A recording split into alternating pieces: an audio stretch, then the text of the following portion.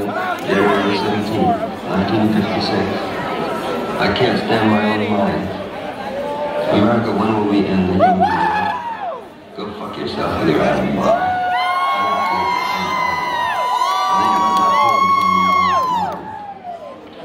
America, when will you be angelic? When will you take off your clothes? When will you look at yourself through the grave? When will you be worthy of your million Trotskyites? America, why are your libraries full of tears? America, when will you send your eggs to India?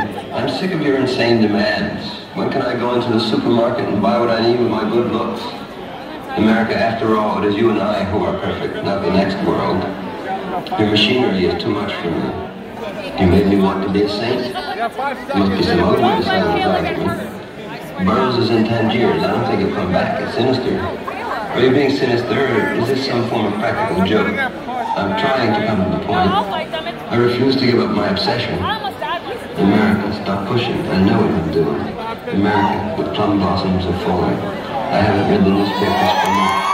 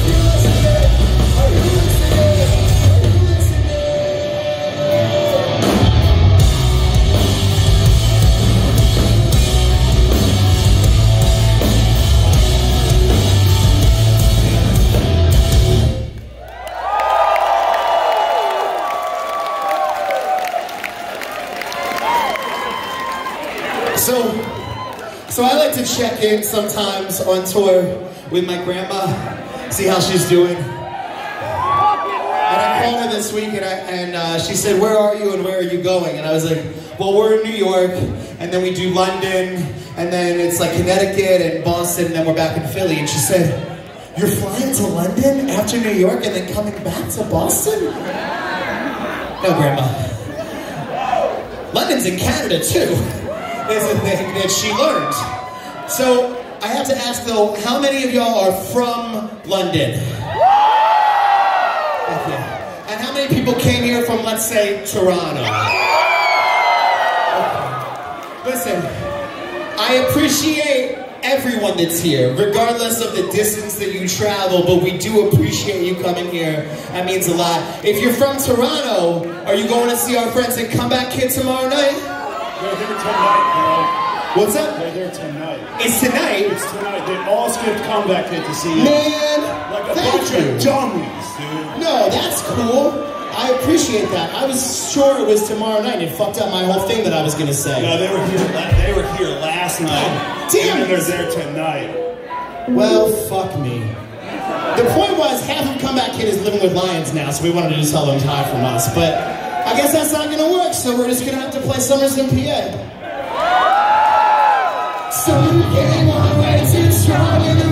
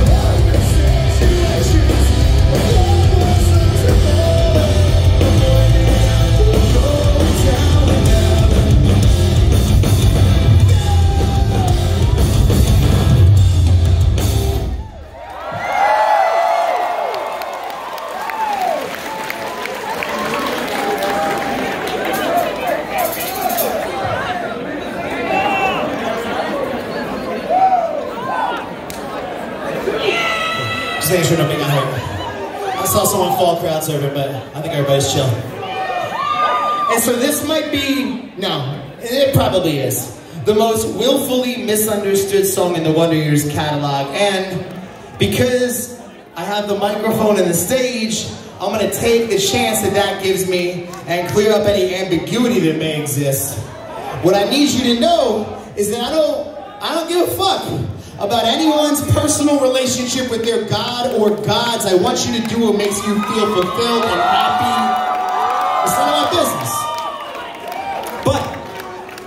But, when motherfuckers leverage that relationship to push forward a homophobic, misogynist, white supremacist agenda, that's when we have shit to talk about it. And then, that's what the song is about. I won't say the Lord's Prayer.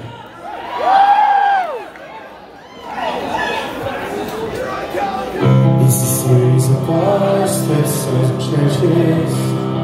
lying in the streets. Women with gold crosses push kids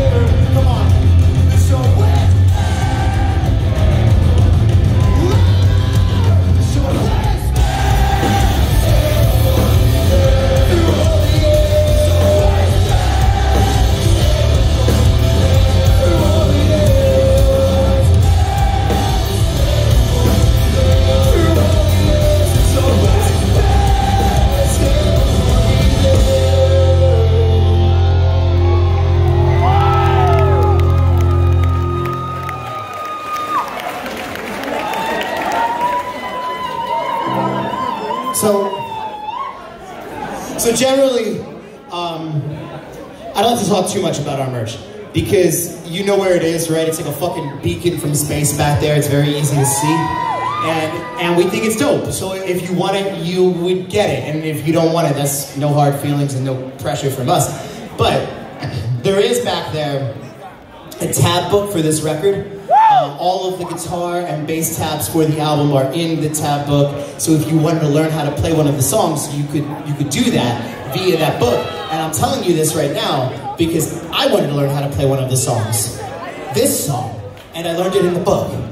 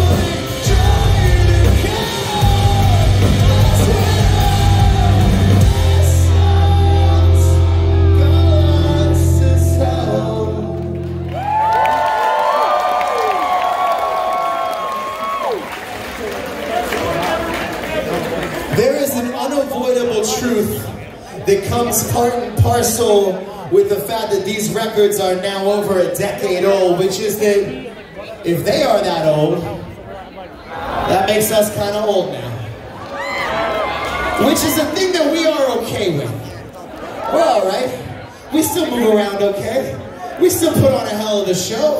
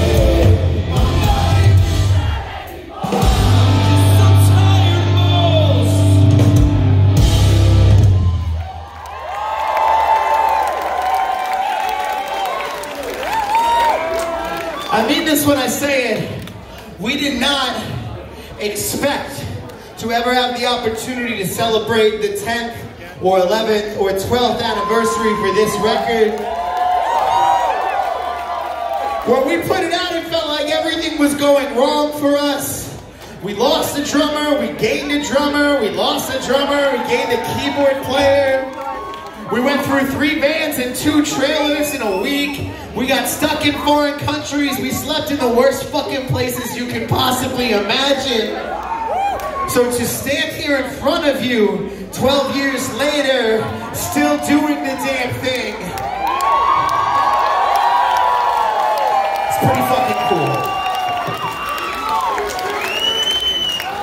The song is called Everything I Own Fits in This Backpack.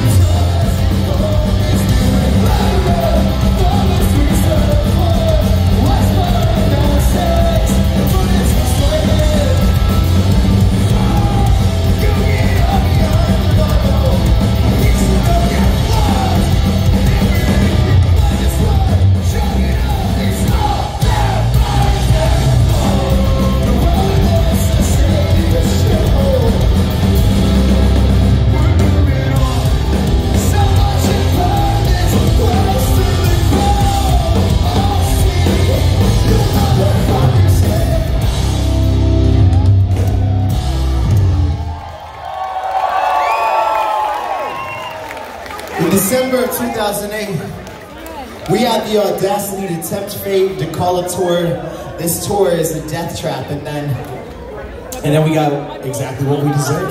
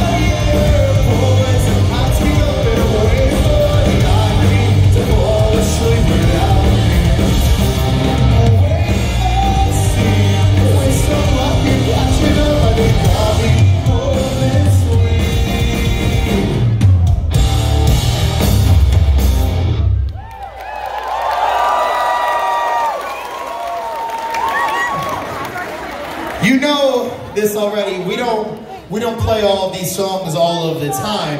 And so I had to relearn a lot of them, which meant reading back through the old lyrics. And this thing started happening when I did that where I started flashing back to the moments where I wrote them. And in a startling amount of those memories, it's winter in Philadelphia and I'm on a bike. And it's usually raining or sleeting or snowing or some combination of all three.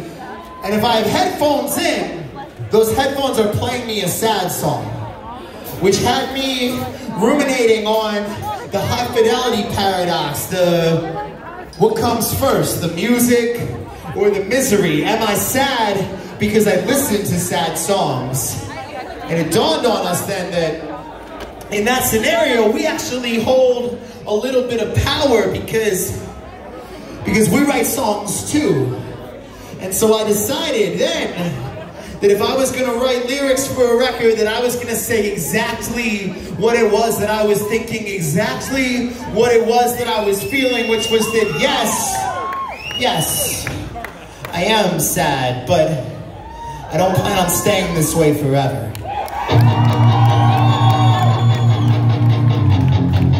It's never sunny in South Philadelphia.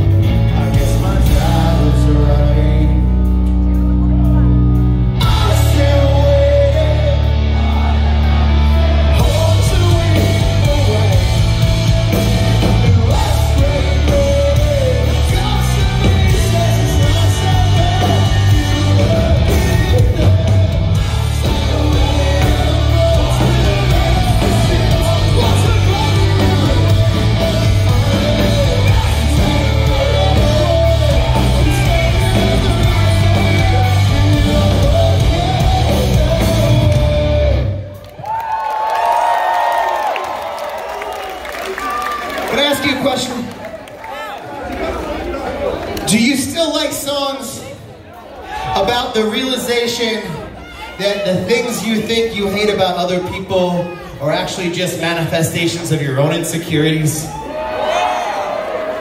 A tepid response. Maybe we need to do some self-evaluating. We're gonna play a couple songs about that right now. Um,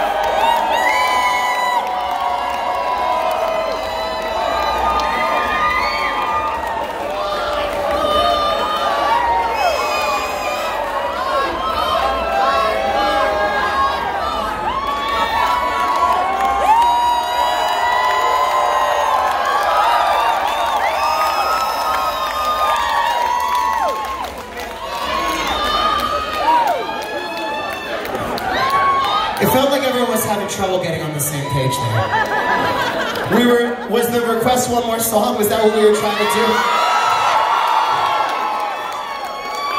Honestly, at this point, my hearing is so fucked up that it was just like jumble of fucking sound, jumble of fucking sound. So we just assumed he wanted us to play more music. That okay? All right, yeah. That's clearer. Now I understand. Now we're seeing eye to eye. The song's called "I Was Scared and I'm Sorry."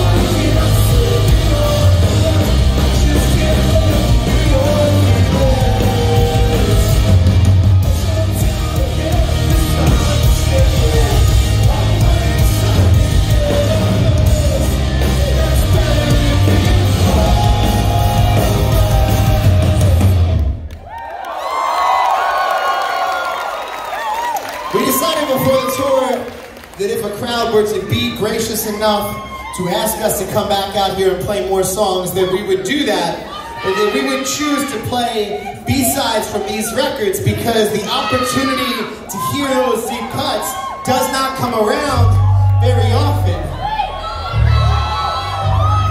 And so that last one was a B-side from the Upsides. This one is a B-side from Suburbia. It's called Me vs. the Highway.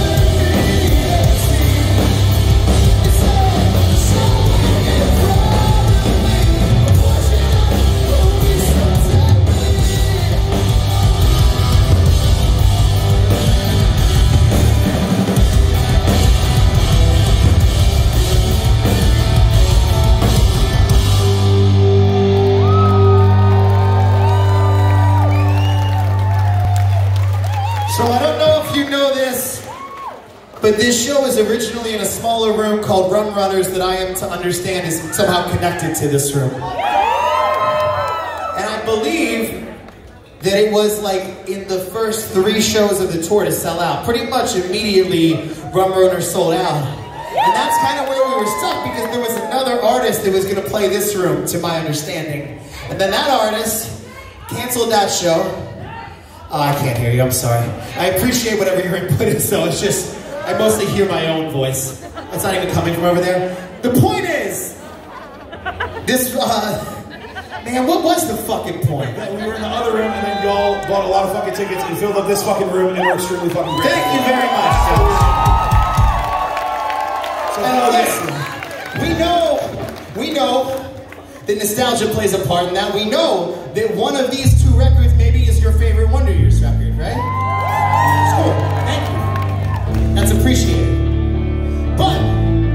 we're here to tell you that that we just finished making your favorite Wonder Years record, and that it's coming out later this year. And then when we come back around, we expect to see every one of you here. We're gonna Wonder Years from Philadelphia. Casey, man, you sent him home.